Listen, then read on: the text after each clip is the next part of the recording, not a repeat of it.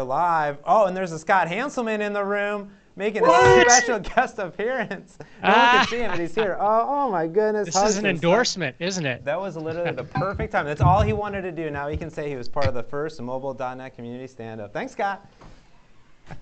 there we go. That's how we do it. That's awesome.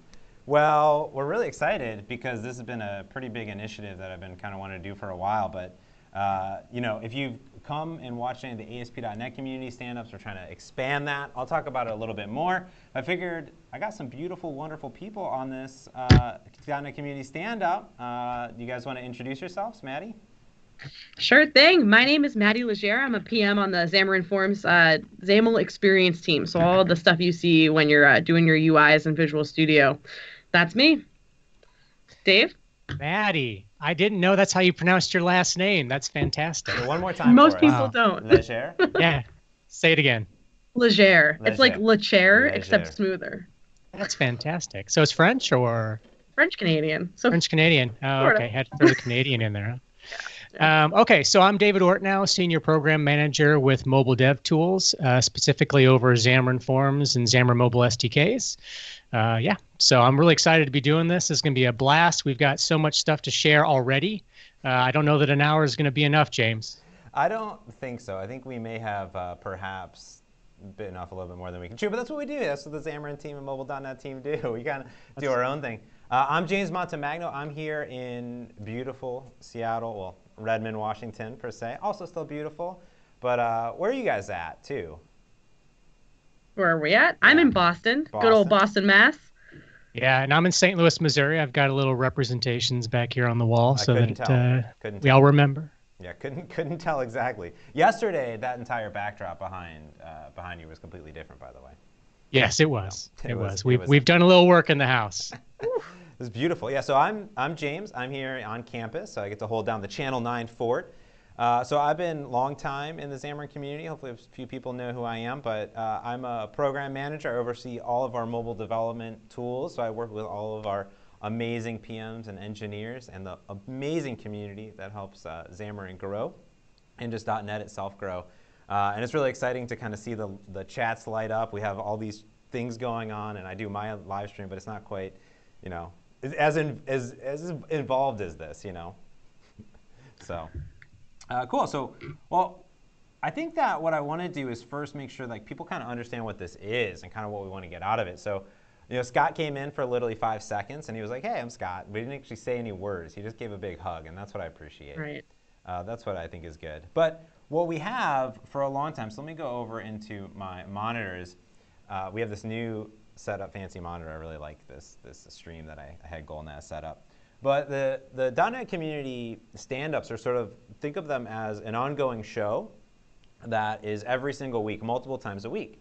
So ASP.NET has been going for like, I don't know, 100 some episodes, guys? Uh, time. Yeah, a lot. And I think that they started on YouTube, moved to Twitch, and did this multi-stream and all over the place, and it was quite a blast. So we wanted to take that but expand it to all the different workloads. Damien a few weeks ago was talking about how we were looking into do this. This has been a pretty good initiative for a while, and here comes GoalNAS coming in. Someone said your mic. Guest appearance. Oh, mic's not on. No, like it could get louder. Oh, it so could get louder. Gotcha a little bit. GoalNAS in every episode of .NET Community Stand Up, the true it. hero, the true hero. Keeps us on the straight and narrow. There you go. Thanks, Glenn, for the uh, for the update there. I appreciate it. So. Uh, cool, we got Frank Krueger in the chat, Clifford in there, whoa, Juarez in there, uh, Ruiz, Ancient Coder in there, all these people, amazing people. So what we wanted to do is take that and expand it to all the different workloads. So what you're seeing here is the YouTube page, and you'll see the latest upcoming week right here when you go to the .NET Foundation YouTube channel. Subscribe to that, you'll get all the notice notifications. So here we can see the, the mobile.NET community stand-up is right here. Then also what's cool is on the Twitch channel, which we love Twitch, very interactive, getting all the stuff here. We see the chats coming in here. Um, and when you go to Visual Studio, you can see that we're live, but you can also see the Events tab. And when you tap on that, you'll see all of the upcoming events, and we're scheduling them about a, a month out. So when you tap on one, it will bring you right here into the series. So you can always bookmark this. You can get a notification. There's usually a reminder button on upcoming ones. If you set it on the series, you'll get notified for everything. So there you go. That's it. So yeah, that's what we're gonna do. What do you guys think? Love it. Yeah, I think I think everyone's so busy, distracted by the chats and everything like that. Yeah, that's the thing. We need to learn how to split our focus. I mean, obviously, we do meetings quite frequently, but you know, it's I've got both the YouTube and the Twitch. I'm I'm still learning how how uh, delayed the stream is, right? So Mm. it's like, okay, Right. you're sharing your screen, you're talking about your screen, but what I'm looking at right here, I can only see your faces. Yeah. And so, yeah. So if anybody is wondering why I'm all, that's what's that's what's going on. I'm trying to figure out what's up. It's, yeah, it's uh, it's pretty. It- It's really hard. I think I, I usually have a lot of. One times I was doing an essentials live stream uh, on my Twitch, and Matthew joined the chat. So Matthew Leibowitz, he was joining in, and he goes, "Man, I just can't. I can't deal with this delay. It's like 30 seconds, and there's multiple settings. But I think we had tried a few of them, and like the low, low latency just wasn't at the quality that people expect. Yeah. I think so. Eugene asks in the chat uh, before we go through some of the stuff, uh, and I'll go through some of the format too. Is asked why do we use Visual Studio? Uh, that's a great question. Well, so C Sharp Fritz, Jeff Fritz had set up um, the Visual Studio account. We're doing Visual Studio, and well, you know, we're in part of DevDiv, so uh, maybe people don't understand our, our structure a little bit. Do you want to kind of yeah. talk about us a little bit? Go for it. No, you let me just talk. I'm over here. David, David, talk. Sure. So uh, DevDiv stands for Developer Division. Um, so this is everything Visual Studio. So you know, when I introduced myself, you know, I didn't say PM of Xamarin right off the top of the bat. I said mobile developer tools within Visual Studio. So that's that's Windows, that's Mac. Um, it's really uh, and and there's tools that are that sit outside of that as well. But um, so that's how we fit within the Visual Studio family, and how we as at Microsoft think about the products that Xamarin brings to the table, um, as well as other mobile products. You know, uh, it's not all Xamarin. There's Cordova, there's React Native. Um, those things are not completely absent from our vision.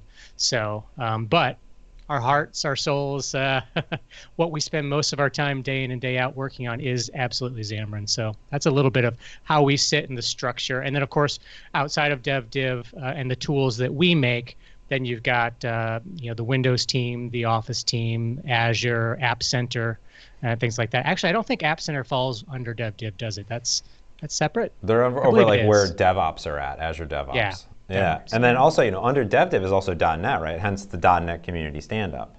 Yeah. So you have all the languages, you have all the tooling, you have the cloud SDK integrations. So that's why we say mobile developer tools because we're we're literally talking about all the tooling, the SDKs, the integrations, all these different things. Yeah. So like when Maddy says she's working on like the you know XAML experience, it's it's it's kind of all of not only just Xamarin Forms, but how does that mesh across? I assume everything, right, Maddy? Oh yeah. Lots of XAML. Lots of XAML over here in DevDiv.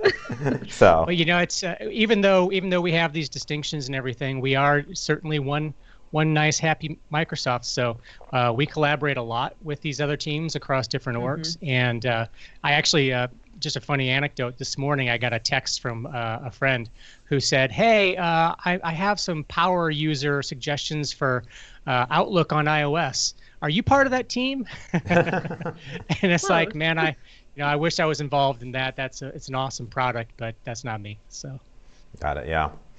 So, so this is what we're going to kind of do on these. I think it's going to be a fun adventure. So, different teams are going to join each week on these Thursdays. So, ASP.NET will be Tuesdays.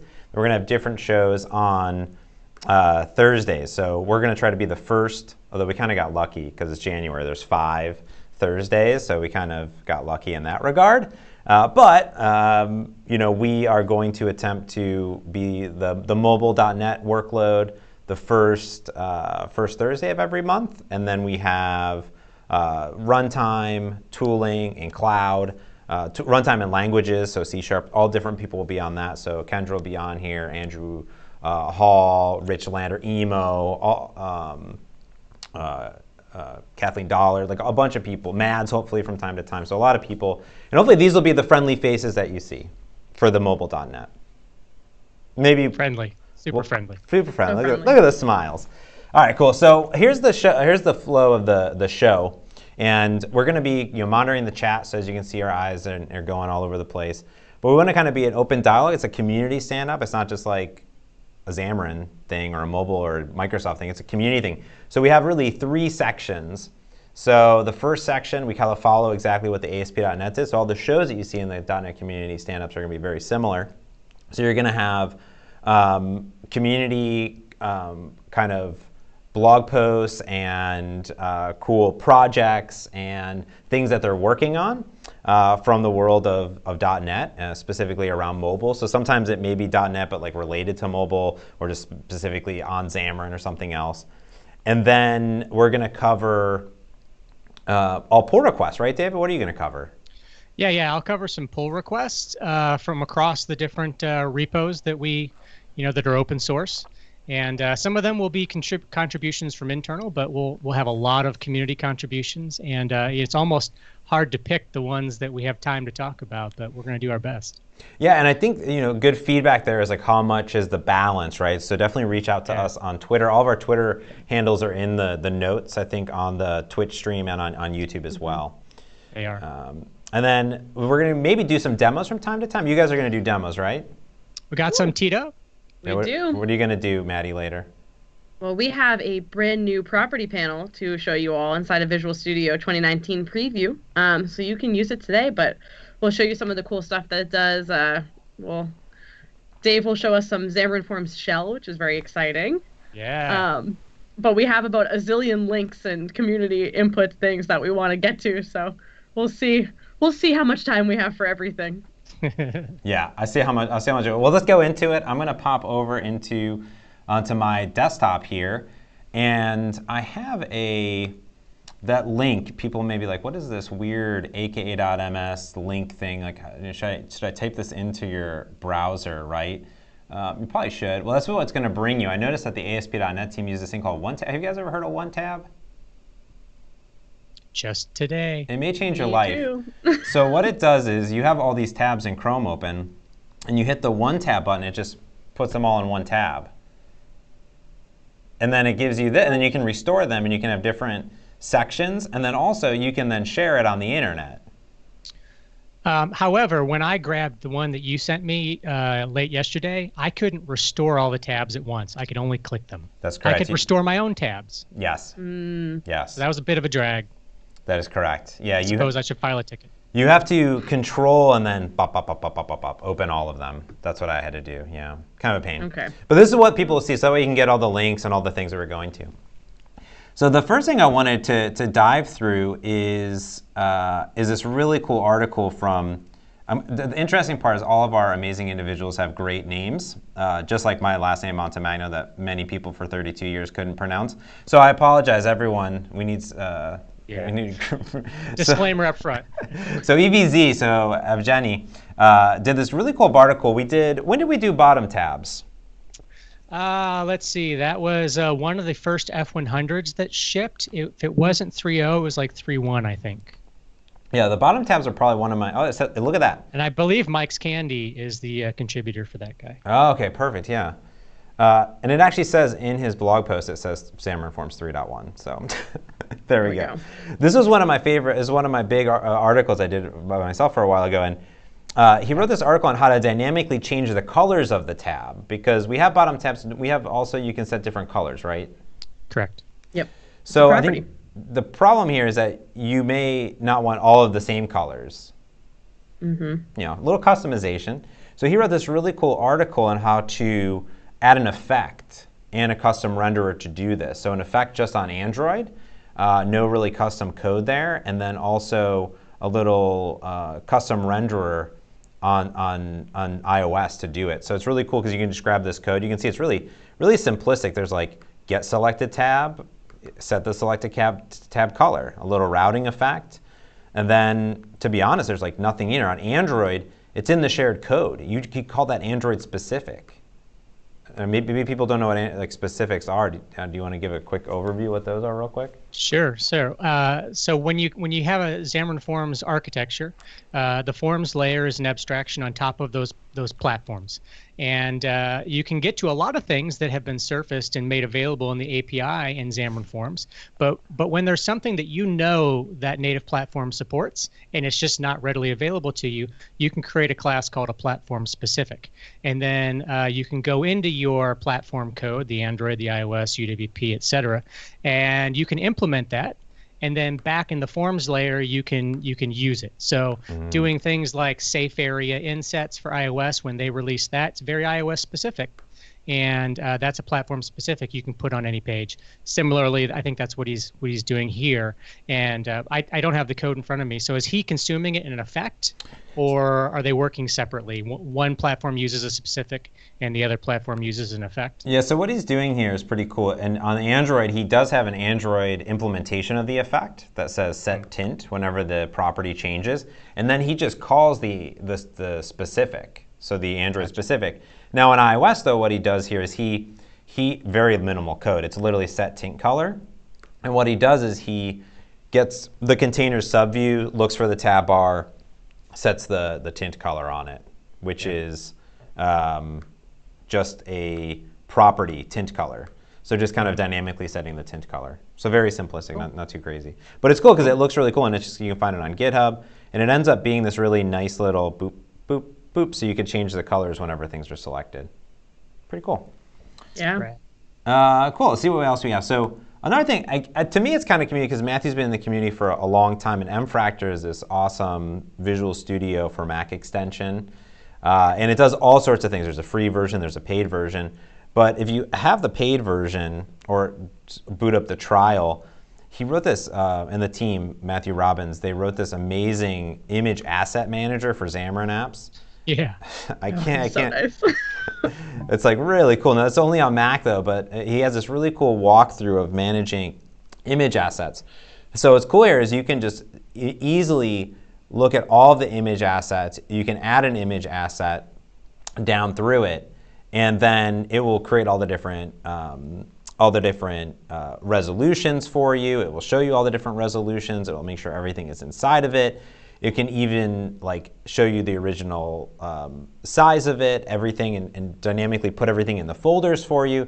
It's super duper cool. Um, and then you can even optimize, I think, like the different PNGs and stuff, which is pretty Yeah, crazy. it'll do a crush for you. Uh, I don't remember which library it's using for that, but one thing I noticed when I was looking at this uh, was it seems to provide counts of how many times an asset is used, or how maybe it's how many variations of an asset there are. So if anybody in the chat has used this feature and and you can explain to me what those counts refer to, that'd be pretty awesome. I think it's a little early for Matthew uh, yet down in Australia, but maybe Yeah. he maybe he got up super super early. It's a possibility. Uh, I'm going to fix my link over here into the. I, I, I did a typo here. So the end of it is supposed to be the date. So let's see if I did this right. 19. And then let's go ahead and hit OK. Now, hopefully, I don't stop the stream because that'd be bad news for everyone. All right, so Are that should be good. you putting this on uh, YouTube or where'd you put it? I just put it on YouTube. I'm gonna I'm gonna put that over onto the onto the Twitch as well. I do apologize for that. You know, me, classic James, just being, and I typed it wrong again. Oh geez, uh, here, there we go. It's the date, I swear. there we go. Oh gosh, there we go. 19. Perfect. There we go. All right, now we're set. Ah, Uh, all right, so perfect. This next one uh, over here, which I thought was really cool. So I've been a longtime proponent of plugins, uh, and Pujio Luis, I, I'm going to try try attempt Luis. Oh, it's just Luis. That's his last name. So Luis Pujols. Uh, he uh, works at CrossGeeks, which they've been writing all sorts of great content. That uh, a lot of amazing uh, MVPs and people over there. So uh, Luis, he wrote this really great article on just how to create a plugin. Have you guys ever gone through the exercise of creating plugins? I have not. No, Maddie. Uh, no, I haven't either. so, well, that's perfect because this article will walk you through exactly how to do it, uh, and and it tells you exactly what it is. So, plugins were like this great concept that I I, I like to attempt to take credit for, but abstracting common common uh, or, or platform specific code into a common API, and that's what Xamarin Essentials turned into. All these different plugins uh, in general. So what's cool is that he actually walks you step by step on how to get started with my cross-platform templates. You can watch my YouTube video if you want. Uh, what the project structure will look like, where you would put the code, how you determine what's shared code versus platform code. And what's really cool is it's not just about walking through and creating the plugin. It's about also downloading like Oren, so Oren Novotny's NuGet Package Manager, which is a phenomenal tool. uh, and how to publish it. You can publish it directly through there, or you can publish it in CI, and, and you can set it all up. But he walks you all the specific code, the CS project, everything you really need uh, to get set up and, and push it out uh, to NuGet, which I thought was super cool as you're, you're going through here and the naming. And he also really walks through like why he did it. A lot of people are like, well, why would you create a, a plugin, right? Why would I need to do that? And he walks through like he's creating multiple apps and he was creating just code that he wanted to share, even just internally in NuGet too. I think people don't don't think about that. So. Yeah, I know a lot of uh, enterprises will do just that. Um, heard from somebody recently asking for SourceLink uh, on Twitter, Mm. um, and I said, "Well, why?" And he said that uh, they have a variety of libraries in their enterprise that they reuse over and over again, and it would really help debugging to be able to go directly to that code. Makes Yeah. perfect sense. So Yeah. hopefully we can uh, do something about that. Yeah, I'll, I'll tell you about SourceLink. So I've uh, had a lot of conversations with the, the debug teams, the mono teams, and the IDE teams on this. So we uh, integrated SourceLink. So if people don't know what SourceLink is, it's phenomenal. It's sort of a debugger slash IDE tool. So if you're using a NuGet and you hit a breakpoint and you F5, I think you just said it, Dave, you, you actually go into the code. It'll pull down the code from GitHub based on the commit, and then you're debugging through the code. Yeah. Amazing. Right. Right. So nice. So Now, the problem is it doesn't really work with Xamarin. It does work with UWP and desktop apps and ASP.NET, but it doesn't work with Xamarin apps just because our debugger is different, right? So there's some work that needs to be done, and I it's not an internal tracker, but prioritization, right, is always a, a thing.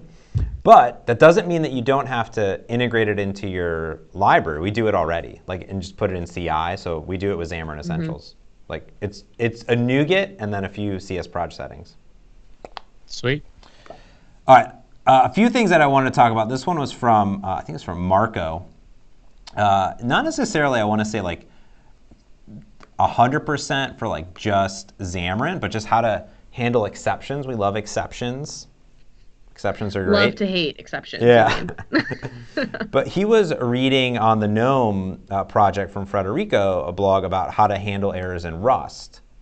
And it sort of had him thinking about, hey, I'm making all these apps with Xamarin. How do I handle a lot of my exceptions? So he kind of walks through like, hey, your normal code may look like this, um, which is try, do something, display alert. I think all three of us are probably guilty. sure. Absolutely. oh yeah. right? It's like this is you know something went wrong, right? It's like done. I, I read how to do that in MSDN magazine. I don't know what the problem is. yeah, that's what it said. So MSDN magazine. That's what the doc. I You know. think that's exactly what I put as my alert message too. Like, oh, something went wrong. Sorry. Thank- Just uh, try again. His alert is very nice. Thanks for your patience. So that's really really Oh. nice. Or, or how about Nicer a developer has been notified, A right? developer. And then you just, but you don't tell anybody. That's pretty good. Uh, yeah. So so you probably shouldn't do that. Um, or you can kind of think about how to restructure it. So he started thinking here about how you could try to do something like try, execute, and put a bunch of logic into a common pattern. So he's using uh, refit here, but uh, some of the code ideas here is what this would do is, is you could have some common code that's doing these RESTful service calls. So for instance, uh, it may check to see if there's internet. It may give you a win starting, so maybe you do a little spinner. Uh, it will go off, execute the task, come back, return if it's okay, and you're you're getting more concrete okay exceptions, and you can handle it instead of just throwing exceptions all the time. Right. So thought that was kind of cool. In general, again, not very Xamarin specific, more like kind of just .NET uh, a bit, which I thought was cool. Right. Yeah. And and Marcos mentions the Tailwind Traders app. Mm. Um, and that was one of the goals we had with that app was to provide some of those patterns and practices. Because what we've learned is that when people see samples come from us like that, they expect to have a certain level of uh, show me how I should write really good enterprise level quality code that's gonna, you know, be able to live for years and not bite me, not not get me out of the bed at two in the morning to fix a bug. Yeah, yeah.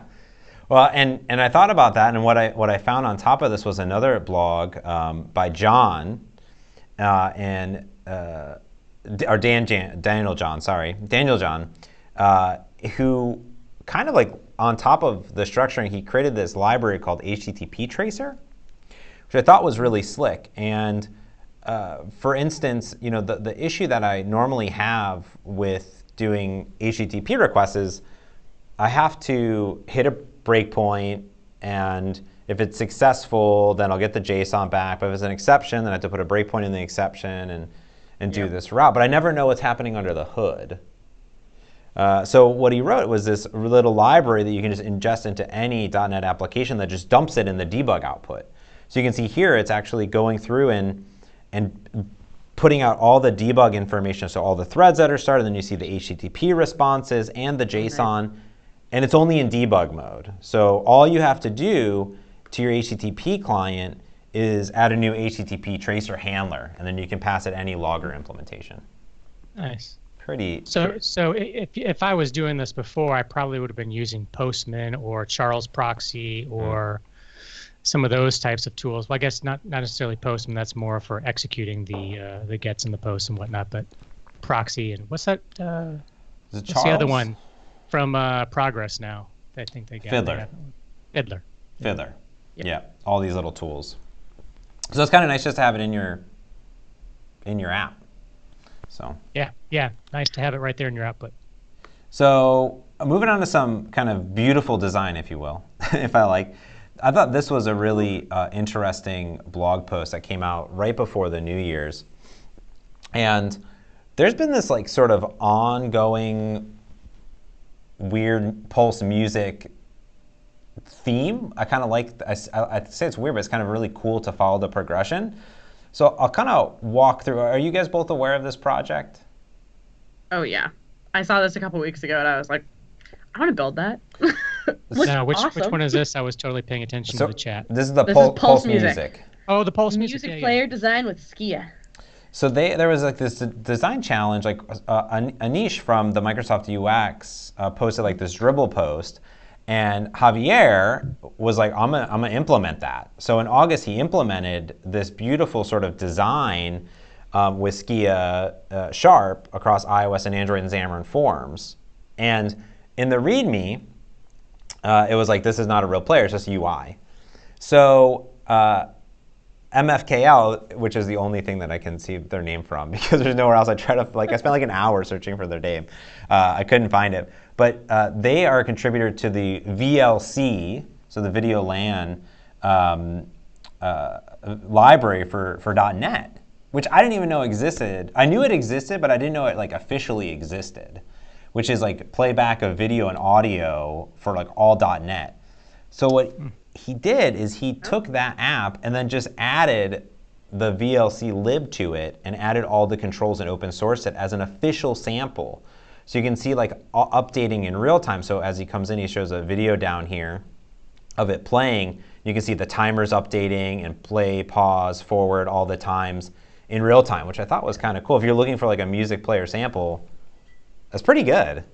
Yeah. So Yeah, and it looks awesome. and I love like the credit back to Anish and Javier and going on here, and you can just you can find that, and you can you can actually click deep into the VideoLAN uh, GitLab uh, project and and see all the samples and go in a little bit more about it, which I thought was really cool. Well, and uh, and I want to say this is our Javier. Javier works with us now. I'm so excited we got him.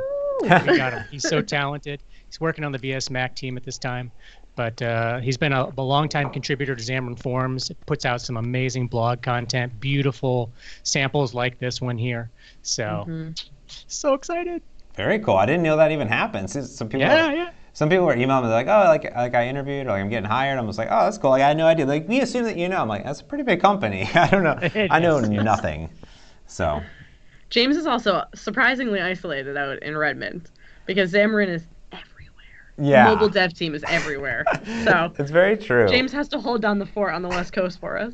I do. I like you know I like the uh, the 285 days of uh, gray grayness in the sky. So uh, let me continue. I got so much to cover here. Oh my goodness. All right. So uh, I got to give a shout out to Ryan Davis, a longtime MVP. Uh, we worked with him specifically around uh, Xamarin Essentials. And there were quite a few people that were like, oh, why don't we have interfaces? We went back and forth on interfaces. And uh, from a simplicity and um, like our structure and performance and, and just how we wanted to do it, we, we didn't do any. So he created this website, uh, which I believe is like an all just a a WebAssembly site, I'm pretty sure. But you can go on here, and what it does, it lists all of the official releases of Xamarin Essentials NuGets, and it will give you a C Sharp file, uh, which is your um, which is your interfaces. So here I can open this with like VS Code, for instance, here. And for every release, because APIs may change, we might be adding new, new, new ones in there. And what's cool is that it gives you all of the interfaces stubbed out that you can just pop right into your code in, right away. Uh, but he also has this about up top, and that goes into the GitHub of this project. So if you want to just introduce and add the code so you dynamically do it in your in your app, you can do it here. But he also published uh, the NuGet on NuGet. So it's the Xamarin Essentials interfaces. And what that does is he keeps them in sync with Xamarin Essentials, so it'll be updated there. So if you want to do IOC or any of those crazy things, all the all the things that the kids love these days. The kids. The kids. Kids, the Xamarin Essentials kids. You're all you're all kids compared to me. yeah, these kids doing all their IOC and dependency injection and all that fancy stuff. So, uh, cool. All right, so th- this one I thought was really good. This actually has like very little to do with with mobile or .NET. I just thought it was cool. Uh, Marco again, uh, pull back Marco, and this is not from 4.1.19. He's not magically in the future. They're just you know doing the dates right over there. Uh, Marco did this really cool thing where he wanted to build his own uh, compiler because Frank create a, created a C compiler because Frank, as we know, Frank Krueger just creates compilers for fun on the weekend. For breakfast. So he wanted to create like this simple kind of learn more about the compiler and, and, and learn more about system reflection emit. So it was very simple of just creating a, a hello world type of application that that adds or subtracts a number, just you know going through that. So he walks through this this language he calls GoTo uh, that uh, about parsing, semantic analysis, you know about the syntax tree, all the things that are way over my head, which is why I have Frank as my co-host on my podcast. Uh, he's way smarter than me, and it comes down to a very simple simple process of being able to like, hey, if I have this like a method the idea is that I will increase a number and set it equal to each other and do this go to. But what I thought was cool here is that he also created a full IDE in the browser based on Xamarin Forms and Frank's library Ooui and ASP.NET. I'm pretty sure it's the ASP.NET version here. So he calls it GoTo Studio. So when you tap on that, it loads uh, this page, which is built in Xamarin Forms with WebAssembly. Look, look, David's like so confused right now. And I'll prove it to you. I'll go to the source I'm right upset here. I didn't know about this before. So here's here's we we.js, and um, and and here is his go-to statement in the mono.js and Xamarin Forms core right there, And there you go. and the Xamarin Forms platform because Frank made you know made made that there. So what you can do is you can come in and and this is the the sample that he's that he has in there. So you can enter a number, hit the button, and then it, it the idea is that this will copy this number into y and then subtract it. So it's subtracting it, sets x to y, and then I don't know some magical go-to thing. But I thought it was so cool that it's like oh it's here and you can share this and you can go to help. Very cool. Mind-boggling. So Yeah, yeah. Mind-boggling. mind-boggling. yeah I'm just I'm just so upset right now. Why are you so upset? What's wrong? It's all open People source. need people need to tell me about this stuff. well, that's why we have the .NET Community Stand Up. That's There true. That's why we exist, right? We can't be everywhere at once. In, in my most recent survey, uh, no, not the most recent, but there's a uh, Xamarin Forms 4.0 pre-release survey. If you use the templates or if you go to the blog, you'll see there's a link. So everybody needs to be filling that out because I read them, and one of the questions on there is how do you keep track of the news? You know Mhm. what's going on, and uh, you know not everybody's on Twitter. We get that. Um, sometimes it's forums. It's a lot of blog posts. It's a lot of your shows, James, uh, to get comments. So, uh, yeah. Anyway, this this is a new channel right here to uh, keep people up to date, including myself. That's very true. That, it's the Yes. way to do it. I don't know. Do you have any pro tips, Maddy? I am just sitting here fascinated at how much stuff is going on and how much you guys know about all the stuff that's going on, and just watching the chat pop by and. Chris is in here. Uh, he's really enjoying the Frank Krueger community stand-up. He says so. Yeah, yeah. Basically, We have a I'm lot of Xamarin team folks and mobile dev tools and DevDiv in the chat right now, so uh, Sure. enjoy it. enjoy it while everyone's here. Don't start asking support questions. They'll, Nope. they'll, they'll all scatter. That, that's also the advantage is that like you know our community not only just you know in, inside of, of the of the the .NET team here and like the Xamarin team. too. We're, we're dying. We love this stuff. I mean, this is our, our bread yeah. and butter, right? It's So- You would be surprised how many um, people in like the UX research team at Microsoft and how many like program managers on other teams are jealous of how many people we have responding to surveys and like interview requests because we come with these beautiful notes from like all these just devs that are nomads and like all these cool careers and they have this one one other guy that they work with in some shop and we get this awesome feedback and all the other PMs are like my community won't give me this info. like, where do you find these people? I was I was So amazed. very lucky. I was talking to a bunch of, uh, of our awesome developers in the community uh, around like productivity with uh, the IDE and stuff like that, and Xamarin Essentials too. And and like the places that some of our devs live are just like incredible. Like there's I forget the one guy's name. I'm, I'm so it's so terrible. I forget his name. He was on a stream. He lives off some like tiny island off of Madagascar. I was like, I want to go there. Like I want to go to Madagascar first. I want to come to your tiny island and like Com- jam on some conference code. for two. Yeah, conference for two, please. So, all right, I got a few more. Ready for this? Let's see here. So this thing is We're amazing. great on time. We have Nope. 25 more minutes. Perfect. So we have a carousel view update coming, correct? Uh, yes, carousel. Yes. Love view. this. View layout. What what what is Yeah, coming? it's a car- it's called carousel view. Yeah. so we have one. We don't have one. Uh, we don't have one yet. It's going to be in 4.0. You can see a preview of it. Uh, yeah. we have a carousel page. We have carousel page now. Yes. Got it. Yeah. And th- that one's like old, and you guys didn't update it. Uh, so we actually had a carousel view that was released as an early preview Hmm. uh, years ago, and uh, there were concerns about it. You know, there's a whole history to this thing, Yep. um, and and so we finally have come back around to an implementation that we really feel like meets the expectations of users, Yep. and that's what we're working on releasing now. Aside from that, there is the carousel page, which is uh, built upon the page paradigm. Um, and you can use it. Um, it's not necessarily the most performant thing you'll ever get, but there's also plenty of other carousel views out there, which I have a feeling you're about to tell me something about one. That's right. If you don't want to wait for the official one, this thing is mind blowing. It's by Jean Marie. He, uh, this thing is is phenomenal. So he had created this library called Horizontal List View. So I think this is before maybe our scroll view and our things. Yeah. You're familiar with this? Yeah. Yeah. but it's bananas. Like, so he added this carousel layout with auto item sizing and column counts and everything to his horizontal list view. So you can have a linear, a grid, or a carousel.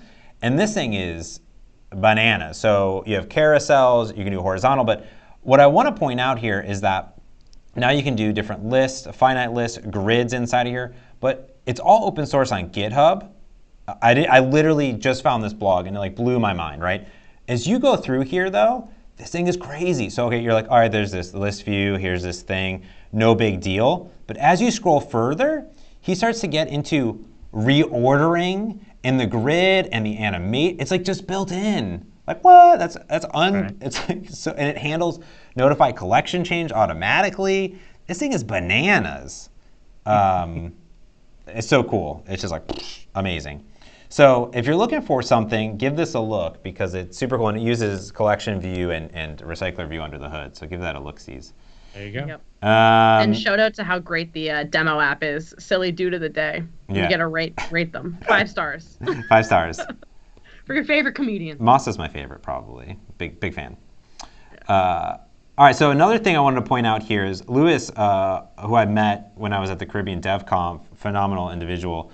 He created a few different things. He called this the Xamarin Universal Library. There's a lot of these like awesome libraries, but what it is is a beautiful GitHub page that will show you how to get access to all these great articles, books, ebooks, podcasts, tools, videos. If you're looking for a good place to start, it's really cool. And there's uh, uh, on top of that, there's they're working on a website right now. They're doing like a blog of the month uh, every day in February.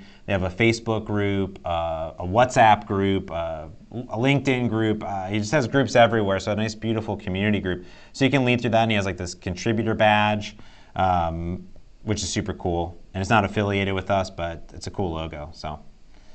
Nice. All right, let me bust through some of these. We got some cool tweets, some books. Good friend Daniel, MVP, uh, came out. Uh, a beautiful forward by Jason. uh, who was one of our co-creators of Xamarin Forms, uh, released a new book.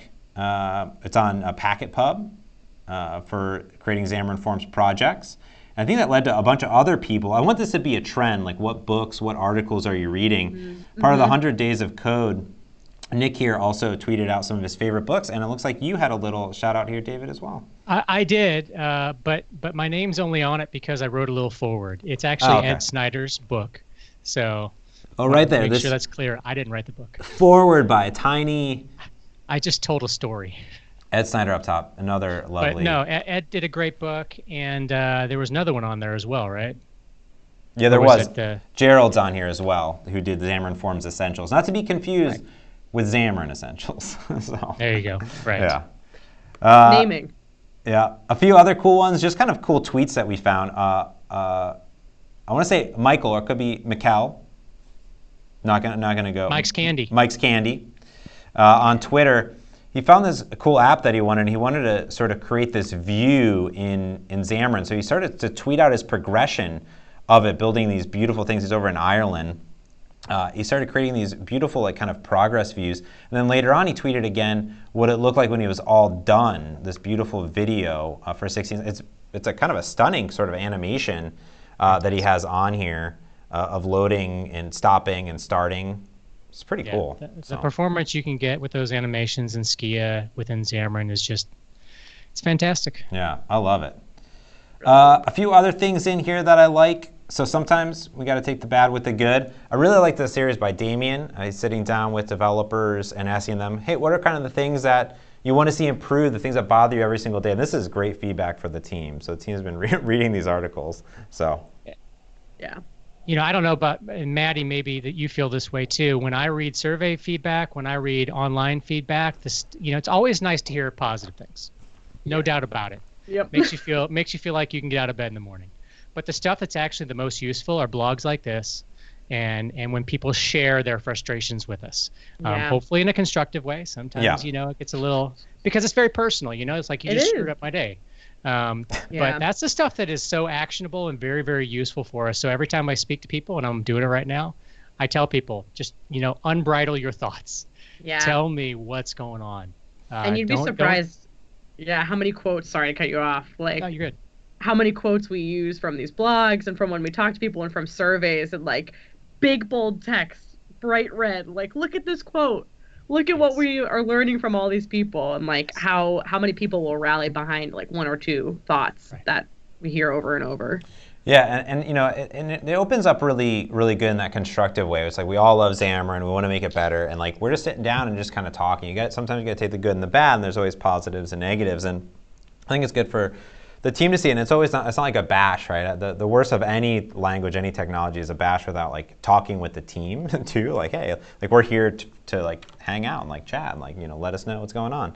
So I think that's kind of good. It's kind of a nice little article series too. It is. Yeah, I dig it. Yeah, and it reminds me of something that I heard Amanda Silver talking about when she was talking about Visual Studio 2019 and the things that the, that the team has been working on. She framed everything, their challenges. We know what our challenges are. You know, th- these are the things that we're working to improve. And being able to acknowledge what our challenges are is, I don't know, there's probably a seven steps of grief here or something, but you know, it's it's one of those necessary steps to, to get us to where we, we all want to be.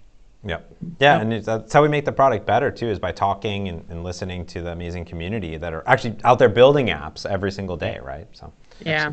all right, last thing here, and then David's going to take over. Is I thought this was so cool. David found this uh, from Andre, uh, who decided to build a website uh, to browse the Xamarin Forms source code.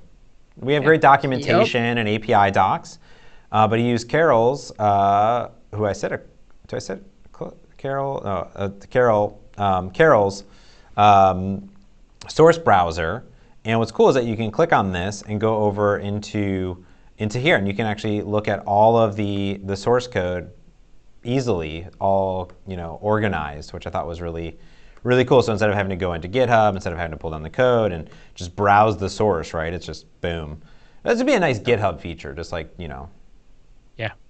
Come on, Yeah, come that's on, some Nat, of the get on comments that. I saw on Twitter. Yeah, people were asking for that to be a, a GitHub feature. I think somebody tweeted right at right at Mr. Nat Friedman. Nat Friedman, get on that. Ooh, Come the on. powerful tweet. I'm going to text him later. All right, cool. Uh, you want to go through some of the, the PRs, both community and stuff that we're doing? We'll let you share your screen over there. Yeah. Sharing screen one. There we go. All right. Somebody give me a thumbs up when we're good. You're, you're gravy. You're gravy. No one can see anything. Now all they see is GitHub. What are we looking at? Uh, so here's what we're looking at. Uh, I'm going to go through these different PRs across uh, GitHub, our, our properties there, and highlight a few of the things. And I'm going to blow through these uh, because we're running short on time and I have a meeting. But uh, the first thing we've got here, I have a list of the F100s. And for those of you who are unfamiliar, F100s is the Xamarin Forms 100 little paper cuts, those things that bother you, frustrate you on a day to day basis. Um, and we started creating some specs. Some of the specs are, are quite small, some of the specs are more full featured. Um, but these are things that if you're looking for an opportunity to contribute, come in here and look at the F100s, look at these help wanteds or up for grabs, which we probably need to do some housekeeping because they kind of mean the same thing. Um, but you you filter on this and uh, you can see all the stuff that is just sitting out there. And some of these things might be very easy for you to do. Maybe you can just pull this out of an existing project. And at least it's a starting point and you can work with the with with the uh, internal forms team the core team to get these things done. So uh, highly recommend you check this out. And this has really been the the the source of where a lot of the forms forward progress has been. You know james you asked me about the bottom tabs.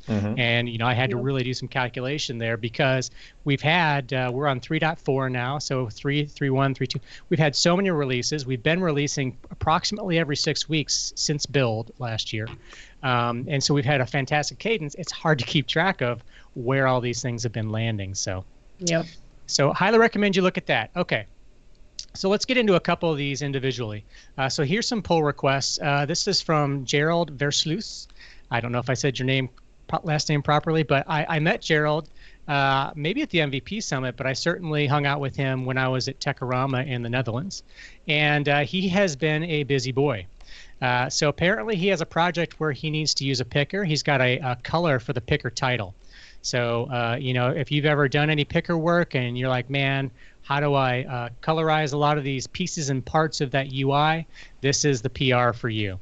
So it makes it easier to do that. I have actually code that I had used in the past, and probably most of us do, that uses an effect to apply these sorts of things. Um, so that's really cool. And then he spent some time blogging about it. So we include that link uh, in the one tab as well.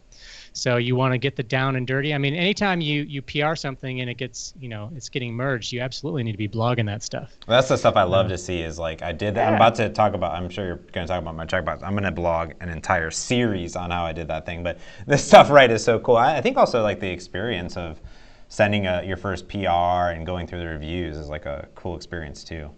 Absolutely, and we want to hear what that experience is. And I've done some um, interviews with people in the past about what your experience has been contributing because we want to make it as smooth as possible. But uh, you know, we have our own struggles of uh, balancing. Uh, you know, how much time do we spend reviewing and working through PRs, and how much time do we spend fixing bugs and uh, improving the product and things like that. So, but uh, Gerald is not done. Gerald also has another picker PR here. Like I said, he has a project where he's using some pickers. Apparently. Um, so this one is to disable suggestions for all pickers. So you know when you get that keyboard popping up, you get the, the spell checking and the and the suggestions. So this is a, a way to disable that quite easily. And then uh, again, he's on fire. It's, it's it's the Gerald show. it's the Gerald show uh, today. This is one that I really, really like, and I and I know there's another plugin out there for HTML label. Um, this one does uh, pretty much the same thing. Labels now in iOS and Android in particular, and perhaps UWP as well, natively support rendering a lot of HTML. So you almost don't even need to do any kind of translation or uh, you know fancy formatting of translating HTML into formatted text or anything like that. So uh, I'm excited to see this one get in there. Uh, it's just going to be so convenient to be able to, you know, bind an HTML string into a label and easily get your formatting that way. Personally, you know, I've I've got 20 years plus of uh, development experience. A lot of it was web. Um, and sometimes, you know, uh, an HTML string is just an easy way to do it. I know I've used APIs in the past where the source uh, text strings that I get are formatted in HTML, as you would expect. So this just makes displaying that stuff so much easier. And then, Yeah. and then, Ooh. somebody Oh, Somebody went off and who's made a check. that? That's Who's This guy, James Monta, what? Montemagno. I've heard, I've heard of that individual before. Known Pro, and loved. pro user. What do you do? You love, you live, love, Love bike, biking and code. code. I'm gonna get that about right. tattooed on my arm actually in, Are in, you? uh, Morse Nice. code. in Morse code. Yeah. Uh, so this is actually uh, not going to lie. It's a it's a request we have uh, received many times. Hey, I want a checkbox. Hey, I want a checkbox. Of course, then you know what follows after that. Hey, I want a radio button. And the reason this wasn't in the box uh, at launch, and since then, is because uh, iOS doesn't actually have a checkbox. Right? Mhm. Android has it now. Um, I don't remember when they they added it, but it got added. And then uh, UWP has a checkbox, and of course, other platforms have checkboxes as well. So it's time. It's high time that we have a checkbox, and uh, I think this will be a nice, easy, useful thing for people. Of course, you could have always just used images and toggled that. You could have used switches. Um, there are several other ways to uh, to get this done, but having a control that's named what you expect it to be uh, out of the box is just There, the right thing to there are checkboxes in the checkbox pull request too. See, like see the like the GitHub checkbox, and look at those checkboxes. Oh, look at those beautiful Yes. checkboxes. Yeah, so I'll be interested to, to hear, you know, and see your blog posts about how you uh, did this, especially on iOS where it's not a native deal. Frank Frank Yeah. did it. That's what happened. Frank did it. Yeah. Nice. Thanks, Frank. Thanks, The Frank. Frank Krueger Show. Yep. My first, my very first uh, Xamarin Evolve. I was walking down the hall and somebody says, "Hey, what's your topic?" Because I was speaking on uh, iOS animation, core Mm. animation, and the very first thing somebody says to me, "Oh, do you know Frank Krueger? You need to talk to Frank Krueger. He knows all about that stuff." And I'm like, "Dude, I'm the one speaking on it. Come on, who's this Frank Krueger guy?"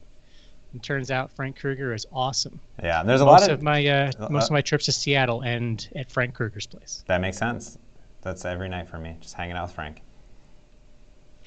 Uh, a couple more here. Uh, changing a span default binding to one way. Now, this is one that uh, I'm hoping to drive some conversation to. Um, Andre uh, in Romania, which I actually did a, a remote presentation to his meetup recently, and that was a lot of fun. I, I really appreciate him setting this up. He's a common, uh, uh, frequent contributor to Xamarin Forms, um, but this is one where it's like, okay, everywhere else the binding default mode is is uh, different than it is here on spans. And this was done for performance reasons. It was a discussion that was had and it was a decision that was made. But andre is saying hey this keeps biting people people and we have seen people uh, run into this. So it could be that it's just a learning thing. Um, but come come to this uh, issue comment on it let us know what you think. Should we make this one time? Should it be one way? Or actually i'm sorry it's one time now. Should it be one way etc um, want to see some conversation there uh, a couple more and these are essentials prs um, so we've got one here that adds the uh, shake api and initially he proposed it on device but i see that down here discussion was had and i believe it's being moved to accelerometer. Is that right? Yeah, so this one we have a pretty big discussion on so shaking device and how we should do it. So we're going to be like talking a little bit more in depth about it um, in general, just because what we want to do is make sure that like it makes sense for people. So we're kind of revving on this. So some feedback if you've implemented Detect Shake API into your app, let me know. So yeah, right now we're thinking about putting an accelerometer. So we would actually just use the accelerometer itself and not use the see Android and Windows don't have specific APIs, but iOS does. So, but you have to like hijack your your view or whatever. So I think it's it's a discussion we want to have, and that's one that we're it's on our map to bring in. But it's definitely going to go. Matthew's been definitely been pinging it, but we moved it into the accelerometer because it kind of makes sense there. We think, but we want some feedback. Gotcha. Gotcha. All right, cool. So jump on there, everybody. Uh, let us know what you think. We got another essentials one here, um, something that Prashant asked for, and actually I moved back to his issue because he described it. Mm-hmm. And here's the PR. Um, so this is from Niklas, and uh, it's a it's browser customization APIs to add color to the title, background controls, things like that. Um, so James, what do you know about this one? Yeah, so this one's cool. We went back and forth with Matthew as well. So Matthew's one of our main devs on the on Essentials with Jon Dick and and me. And what we decided is we're we added all these crazy extensions, but what we decided to do is bring in, uh, unfortunately, a dependency for iOS because the system drawing color lives in OpenTK. So we had to bring that in. So instead of creating our own color, like Xamarin Forms has its own color, we don't want to do that. So we are in the final stages of updating this code to move away from his custom implementation of a, of a color because we don't need another RBGA in, in our life. No more colors. We don't need an essentials color. Uh, yeah, I saw that. yeah, and we're really close. So we have some final rev on this uh, that we see there with John, and we should be able to pull this in literally into probably 110. So I'm pretty Oh, excited. fantastic. Woo. Yeah. All right, cool. Yeah, I saw that essentials color and I kind of cringed, but uh, I knew co- calmer, cooler heads would prevail. Um, a couple of other PRs that uh, are kind of sitting and they've been around for a bit, um, mostly because they're more substantial and they required some discussion, but uh, we have a lot of positive consensus that these things will be happening. Um, not in 4.0, but hopefully in the release shortly after that. One is Media Element here from Peter Foot and uh, it provides just that base. If you if you're a UWP uh, developer, this is going to be quite familiar, I think, to you. Um, provides that uh, base element for playback of audio and video. Oh, cool. Um, now, you know, you mentioned that uh, .NET API earlier with the uh, the Pulse music thing. Um, I'm going to have to go back and have some discussions and and see where that overlaps because that was very cool and very interesting. And then one more here, uh, and then I'll wrap up. Uh, a camera view control, and this is from Pavel, uh, who has been working with us and contributing quite a few of the F100s, which has been amazing. Um, but you know, I I can't count the number of apps that I have done where I have a custom camera view, and I just want that base camera piece to be taken care of for me. I don't want to learn what the new Android camera API is, which my goodness, have you looked at how much code that thing is? It is a pile, and not not a pile, but you know, it's a long long amount of code. I made that sound really bad. Maybe I meant maybe I meant to. Maybe It's a that's lot a of code. Freudian thing right there. it's a lot it's a of pain point. Yeah. It is. So I would love to have this, and I have pulled down the uh, a build of this PR. I have used it, um, not extensively, but I got it working, and uh, I'm excited to see this happen. I think the main thing with this one in particular was uh, we wanted to make it command friendly. Um, currently, it's mostly uh, events, if I recall, and so uh, make it more MVVM friendly that way, and it'll be really really nice. So. Um, that's what I've got. I tell you what, you know, we've already filled an hour and we've got so much more yet to go.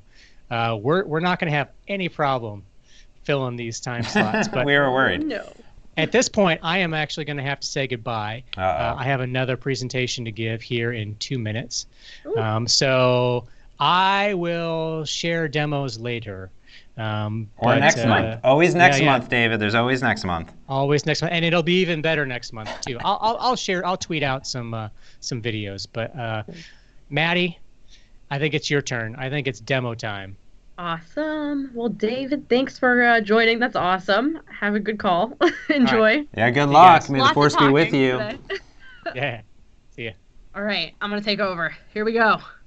Cool. So we're It's going. just the two of us now, James. Just the two of us. Whoop. Well, let's see go. how my computer hangs out because I, it's been running Teams and everything I've been doing has been on my other computer. So this this poor guy's probably a little sleepy, but um, we'll see what happens. So this is the Visual Studio uh, 2019 preview build, which you can all download today. Just search on the interwebs Visual Studio preview because the link is like more than one word. Um, but yeah, you can tell right here. You can install it side by side with Visual Studio 2017, um, so it won't screw anything up, which is great. And then you can test out all of our new features as we ship them. Um, and we are just getting ready to ship out the second preview, so even more to come to show next month. Um, but the big thing that I want to show you all today is this lovely property panel right here. So uh, the the mobile dev team has been working on a cross-platform property panel. So something that you can see in in all your different IDEs for Android, for iOS, for Forms, on Mac, on Windows. Um, and we just got it hooked up for Forms on Windows, which is a huge deal. So I kind of want to play around with it with all of you today. Um, so I made this really ugly uh, login screen that doesn't do anything. I love it. Thanks. Looks like all Um, it's my demos. Literally the blank forms app template with a couple entries and a button stuck on it. Um, but I wanted to show you some of the cool things that we have. So my favorite, of course, is the color picker. So you just kind of go on down here. I love purple, so let's make this stack layout a nice dark purple. It's gonna take a second. All right, give it a sec. There we go. Sweet. Um, that's my favorite. But uh, some other really cool ones. You know, you can add some padding. So if I wanted to add you know, side padding. I can do these two right here. I can do my top padding on this little box. Um, and feel free to drop your questions as I go through this. I will catch up to all of them towards the end. Um, give you all a chance to ask. Uh, yeah, so you know, see some little padding pop up. That's so nice. Uh, I can go into like my button, um, move around my vertical options. So like, I don't know why this button is so far down. So maybe I want to like start and expand it maybe don't love that, I'll move it to a center and expand. Um, and it just replaces it right here in your XAML. This is real, not fake. It's great. Um, and then the other really cool thing is we've just started getting the collection editor to work. So say I want to implement zooming for this view for whatever reason, I can actually go down here to this gesture recognizer, hit my little dots. Uh, I'll add a pinch gesture recognizer, add that, hit OK puts it right here. And with the lovely power of IntelliSense, I can just do pinch updated and it will create my event handler for me, put that in my C sharp backend right there. That quickly. It's beautiful. Um, yeah, and there's a bunch of stuff we still want to implement on this. So, like, if I pop back up into my stack panel, like, I have searching, so I can do like font well, there's no font in the stack panel, but I can do like effect and that'll pop up. Mm. Um, we don't have categorization yet though, so that's something we really want to get feedback on, like what kind of categories you want to see, what your favorite controls are. One category. and- it's empty. String dot empty. It's empty. it's a good category. Um, and and you can see I have you know I have my previewer up, my toolbox up, got the whole happy family inside of Visual Studio. So Now, uh, now, Maddy, do you need to use that with the the per, the preview, or if people are not using the previewer, do you does it still work without that being open? Oh, it still works. Don't worry. And you can see even more of your code. So you can see like I'll go back in and I'll change my vertical options again, put it back on start and expand. Got it. And it. it changes it immediately, which is great.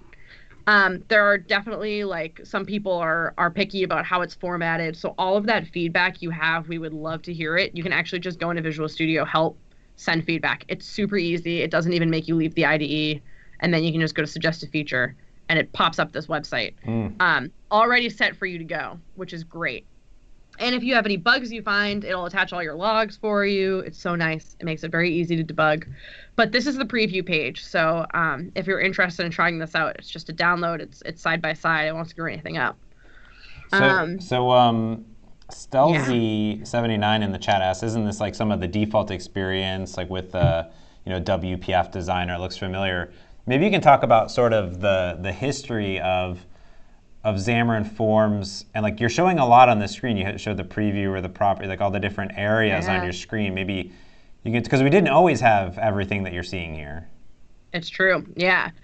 So I mean, Xamarin Forms, right, is just it's a new XAML. It's a different type of XAML with you know different words than what you see in UWP and WPF. Um, and the whole point of it is to be cross-platform. But because it's a different XAML than you know what came with UWP and WPF, none of the tools that we saw from the like the designers and the the property panel and the toolbox worked with it. So in kind of the uh, Xamarin cross-platform vein, the things like the property panel was developed separately um, to to work on Mac, which it's you know that implementation is still a work in progress. So hang tight for that. But um, you know the previewer is kind of its own thing. The toolbox is its own thing, and all of these things come together to hopefully make a really good productivity story.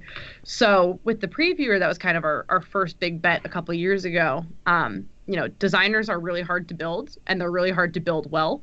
So we thought, why don't we just give you something that'll at least show it to you quickly and live? Um, and we know that there have been a bunch of people giving a lot of really good feedback on the previewer. Um, dependency injection stuff we know is an issue. Uh, people want to see different form factors, and I love hearing that because that is our main focus. Really, um, improvements for Visual Studio 2019 is making this a really awesome tool. Um, the toolbox people were like, "Hey, I, uh, the Xamarin Forms controls are like so close to the UWP controls, but not quite, and I can never remember." So we made you this little toolbox so you can remember, and you can actually just drag this in and and put things in here with a little snippet, which is great. Um, and, you know, of course, this is mad at me because my XAML was just really fake. So now we're back. um, and and uh, the document outline, I see something the the XAML from the visual tree. So that's a huge thing we hear a lot too is the is the document outline. So some people might be familiar with that pops up here and it has your stack layout with or in UWP your stack panel with all your stuff inside of it and you can kind of drag and drop it around. That's something else we really want to get your feedback on and see how important that is to all of you because the more we hear you complain about it, the more compelling it is for us to do something about it. I think I think we have a, and I think in Visual Studio for Mac, I believe there is a document outline there just, is. Just like magically of somehow of how Visual Studio for Mac worked, like it just pulled it in, where like we need to do some custom work here. But I think what we're kind of working on the important parts, and, and you know, I think here the the property panel, right, it, it needed to be re thought about for how we're doing all of those values and specific for Xamarin Forms and different inheritance. You just couldn't reuse a lot of the code, and a lot of the teams working on that. And I know in the previewer, I assume you know the, the latest bits, but I know that we're work we've been working on a lot of things there. I, I'm fairly confident we can talk about a little bit about what we're doing there. Yes, there's stuff that's coming out in preview too, so that's that's fair game. Um, we are uh, I know a huge issue with the previewer, and anyone who's done customer interviews with me over the past couple months has heard me talk about this. Is that you have to build your project before it works, before it does, uh, you know, live reload uh, not reloading but live um, like updates of your display. So we finally built the previewer so that it doesn't have to build your code anymore to work. So it won't show your custom controls but it will show you know just a really quick easy layout of your project um, of your view. And hopefully that will improve a lot of the reliability issues that people have been experiencing with it. So that's coming out in preview too so we're really excited. Um, something else that uh, Pierce Boggan tweeted today. IntelliCode now works completely out of the box with Xamarin Forms. So that's not a previewer thing, that's an editor thing. But instead of IntelliSense being alphabetized, it's going to learn from you what you use the most. And uh, it'll, you know, put, put those kind of at your top of your IntelliSense suggestions. And it'll be way easier I think Clifford had tweeted back and said that. Um, I know he hopped off earlier, but he didn't even realize it was there, and it's been so helpful for him. So yeah. that's a really cool thing coming. Coming that should be pushing soon too. Yeah, I think on the on the, the, the preview part, like you and I, we've done so many chats with developers over the months to really understand that. I know Jim is, Jeff Jeff Jones has been bothering me on Twitter forever. He's in the chat about what are our direction, where are we going, and you know mm-hmm. if the thing with the designer, the designers are extremely hard, extremely brittle, and the, the, the, the, problem is usually with running custom code, right? And that's the problem that we see all the time with with um, the previewer is like out of the box, right. they're actually showing you the Android surface or an iOS surface you're connected to a, a Mac. And for the property panel, we got a question about like how does it work with custom controls and inherited types, and those just work. Yeah. Yep. So awesome. Yeah, there's some the magic there of being able to investigate some of the code there, but the problem is those are just sort of reflecting on the types. It's not necessarily having to render things in real time and having an interactable surface. So I, I think you and I have always talked about interactive surface versus not interactive surface and the things we want to do there. So yep. like when you look at this screen, the things that we've done is like Maddy, you were showing off like the IntelliSense. We completely redid the IntelliSense. 100% mm hmm from the ground up. That work's going over to VS for Mac in, in the near future. I don't have a date on that, but like we're bringing all that IntelliSense goodness, right? That's a big thing, huge yep, thing. That's huge. uh, in general. And anyone who uses Mac, I'm sure, I've heard a lot of people have both because they use Windows for IntelliSense and Mac for the previewer. yeah. Yeah. so I've heard that. yeah. And then all those things, right, which is like all that dependency injection, all the custom code. Like what happens on this page if you invoke you know, a compass controller, accelerometer, like what happens, you know, in general. So there's all of that type of stuff. Uh, it's it's kind of interesting to think about um, that causes all these issues. So what we're doing, kind of what you mentioned, is like this new, I guess we call it like a light mode or a low fidelity mode. I don't think we've come up with a name for it, but I, I think of it as like a fast preview. Does that seem right? yeah. right? I've been saying fast preview, full preview kind of what I've been going with. Yeah, and the idea there is, let's say you add a bunch of custom controls or a bunch of like, the idea is it doesn't run your code, and Yep. then that if you add a custom control that it can't render for some reason, like a map or something, it just shows a box, right? Like you don't need it. It's just it should be super duper quick. And then of course, you know, we have to bring this all across platforms. So that's a whole other thing to think about. So Yeah. Yep. It's a good time though. Lots of cool things. There's we all have heard all of the feedback that comes in about Xamarin Forms and all the tooling that goes with it. And feel free to tweet at me, tweet at James, tweet at David, um, with any ideas you have, and definitely submit them in here because we do look at every single suggestion that goes in through send feedback.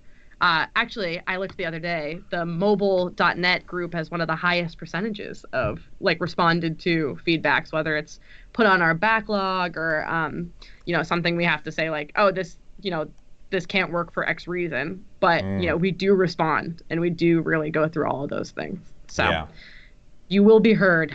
I promise. like that. Yeah, we had some um, pretty good questions in here. Yeah, the I'm seeing like yeah, there's a lot of work that goes cross-platform. Yeah. Um, someone's saying the logical tree. uh, uh, Vis, visit, vis, oh gosh, vis descend. Send me a tweet about your logical tree stuff that you want. I want to get some more details, or you can send me an email, motz at Microsoft, M-O-T-Z at Microsoft.com. Let yep. me and I'm know. Maddy M A D D Y at Microsoft. Yeah. Uh, so I, I think our biggest thing, like Jeff was talking about productivity gains, and sometimes just hiring people isn't in the solution, but I think that that's our number one focus is tooling and productivity gains. I think we're really, I'm pretty excited about what we're doing. We have a bunch of stuff that I can't talk about, so that's probably the other thing is Yep. we can we can only say things that are there. But um, what else are we doing? We're gonna have like a device selection in, in this, right? Instead of phone and Oh, tablet. We're gonna give you not just phone and tablet anymore. You're gonna have real devices and resolutions to pick from to real, preview. Real control. I like that. Ooh. All right, cool. Let's go back to some dual screen action if you want to stop sharing. Oh yeah. Let me uh, figure out how to close your face. I think it's this one. Yes. And we're So- back. And we're back. All right, cool. Let me put that there. There we go. Perfect. So let's see. Um, I was also. have a question when uh, Xamarin Forms 4 is released. Uh, tweet David. I don't know if James knows that answer. I definitely don't. But Well- he will know. I think with with Xamarin Forms 4, I don't think we're talking about necessarily like a release date on. Right? We're in preview right now. So we're getting feedback. So what's in there, and, and the next stream. So next month we'll have we'll make sure David. This is our first one, so we have so much content we really want to try to grab in there and figure out the flow. So we're going to make sure that we're you know hitting our times between an hour, 90 minutes maximum, and um, uh, for Xamarin Forms 4.0, that uh, you know there's a lot of previews that need to go into, and we'll keep doing previews and new versions of it here and there. Uh, and you know we need to rev on stuff. So the collection or the car- collection views in there, the carousel views in there, um, visuals in there, a whole bunch of stuff, right? So something to think about just in, in general. There's a lot of lot of stuff. One thing I want to show, man, I'm going to show you this. You can't see it, but I'm gonna I'm gonna show everyone. So I have. Where's my? Pit, I have the stream up. Someone was talking about XAML styling. So A- Aiden in here was talking about XAML styling in here, and I found this really great extension for Visual Studio. I saw a tweet about it. It's called XAML Styler. I was going to talk about it, but it's extension, and they just came out with 2017 or 2019 support, but I'm in 2017 here. And what's cool is that XAML Styler, you can go into your tools options and you have all these settings down here for like what you want. So do you want spaces and how many spaces and tolerance and lines and new line exceptions and namespace things and do you want like um, you know commas for thickness separator or, or padding or what are your different things that have Xamarin Forms stuff in here too, which is cool. So what I like though is like this is our default Xamarin Essential stuff. Like things are on different lines, some things are on the same line. And I can just right click on it and say format XAML. And it puts it into like beautiful little standard XAML, which I think is super cool. And for instance, even in, in Alphabet, you can have it alphabetized, you can do a bunch of stuff. So here, for instance, if I decide that I want, someone comes in and they add spaces for the margin instead of commas, I can say format code and it'll put it in for me automatically. Maddy can't see this, but it's pretty cool. I'm watching the stream. Don't worry. Um, It's just 10 seconds behind. Yeah. So. so it's pretty cool that you can do stuff like that. And it'll, you can have it alphabetized or you want things in certain order if you want some consistency. But I feel like your whole team has to do it, you know? But I thought that was pretty cool. Yeah. Anyways, that's my. Um, we do have some questions. Mr. XJKZ. Cool. Uh, when you say the same thing as WPF border grid, do you mean in the property panel? Do you mean attributes on controls? Um, you can tweet me or email me or James, Maddy with a Y and Mott's with a Z at Microsoft.com if you want to follow up on that. Oh, Um, maybe I guess you can add like row columns and Yeah. and row definitions. Yep. Yep. Yep. Yep. Basically, Um, anything that you can do, right, is there. And I think, it, like we were talking about the third-party controls. Didn't someone tweet about it working with the Telerik controls? Just just worked. Yeah. It does. It just worked out of the box, and they were like, "We don't know why this is working, but it is." so very exciting. Um, yep. G, thanks. Next Xamarin Mobile Community Stand Up is the first Thursday of the month. Very exciting. Um, what do we have on the YouTube? Anything over here? Um, let's We got some- here. .NET Core questions. Will Xamarin Uh, support .NET Core? Uh, well, Dennis was asking about that. Well, so the thing is, like, the, the runtime is the runtime, and our runtime is our runtime in general. There's lots of optimizations that go into every runtime for the mono runtime. But just because you would your .NET Core targets specific platforms and you're creating a UI off of it, but know that like if you write code for a .NET Core application on Linux, like if you put that into .NET Standard Library, you could just bring that into a Xamarin application, Yeah. right? I mean, that should work. Sounds sounds like it should work. Yeah, if, if it's in a .NET Standard Library, Yeah. Try it out. Let us know. That'd be a that'd be a great blog for next month. yeah, I wouldn't see why not. If you want to do a majority of your like back-end development on it, I wouldn't see why not. It's just C Sharp at the end of the day. You use VS Code to do your C Sharp back-end. Probably not your UI, right? Because there's no UI stuff there. That's tooling at that point. And the runtime is independent of running that code because we have a .NET Standard 2.0 compatibility, so all of your .NET Standard code that would run on .NET Core would run would run there in general. So, Yeah. but yeah, if you're looking for something Dennis like specific, you can always tweet at me like I'm looking for the specific thing and see where that makes sense. I think with other platforms, it, it's harder, right? Because the amount of work and some of the feedback, even just to get iOS working on Windows, is a lot of work to get that working. We get lucky on Mac because Android Yep. and iOS are there, but then there's no you know Windows. So it's like on Linux, there's only Android. Then it's a whole whole. There's no Visual Studio besides VS Code. So, yeah. Right. Yeah. Um, yeah. So Yep, yep. so the .NET community stand-ups, they're going to be every single ASP.NET is every Tuesday, different times. And on Thursday, we'll have mobile the first Thursday. Let me go to the YouTube here. Um, if you go to the .NET Foundation, I guess Twitch is maybe better. Let me go to my pip here. So if you go over here, um, this is, you can just go to the events page and you'll see all of them here. So the upcoming ones, the time, you can get reminders. I got one right on my phone that was like, hey, it's starting. You're starting because you hit the stream button. Cloud, Yeah. we do languages and runtime. Um, if you tap on one of these, you know, this will cover framework, .NET Core, languages, CLI. Um, tooling is going to be Visual Studio, CLI, Roslyn, productivity, and then cloud will be like Azure, AA, AI, ML containers, but all around um, .NET. Yeah, Yeah. yeah. Yeah, and definitely tweet at us or email us when you find more cool stuff to share. Um, there's no shortage of it, but we always like to keep our ear to the ground with the community. We don't want to just be finding this in isolation. So, Yeah, totally. Yeah, I think I'm seeing if there's anything else. I know I'm looking on the OneNote. I'm looking here if there's anything else before That we. was dense. That was we- a dense, uh, almost 90 minutes. Yeah, definitely. Yeah, thanks everyone for all the the chats. This video will be on YouTube on the .NET Foundation YouTube. So when you go over to .NET Foundation, you'll see them all here. So there's the one live stream, and then here's the upcoming ones. And see already the languages ones will be here. And then what's cool is that you can go and we'll put it in a playlist, and you can see all of them here as soon as it, as soon as it's over. It'll be there, so you can watch back all the glory of all the awesome community stuff. Well, we want to thank you, the community, right? More than anything, you make this possible. We're just on here talking about all the awesome stuff that you do. Seriously, thank you all so much. We really appreciate it. All the all the work, all the feedback, and all the help that you all give each other. I mean, looking in the forums is just like awesome all the time. So it's great, uh, and you make everyone else in DevDiv very jealous of the Xamarin team and the mobile dev tools team. So Yeah.